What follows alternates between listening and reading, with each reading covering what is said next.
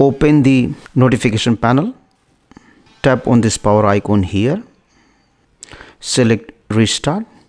And then again press restart to restart the phone. After that go to settings. Go to general management. Select reset. Select this option reset mobile network settings. And then select reset settings you have to enter the pin code of your phone and then reset. So once you have reset the network settings go to settings again. Go to connections. Go to mobile networks. Go to network mode. Right now 5G is selected.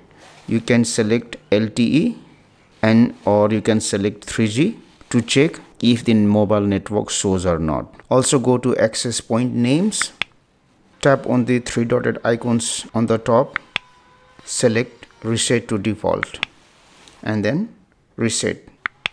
Again go back go to network operators. Instead of selecting automatically disable it. And when available network shows select the one which is your network. So once you have done the other thing that you have to check is if there is an update available for your phone update it. So go to settings go at the bottom select software update and then download and install.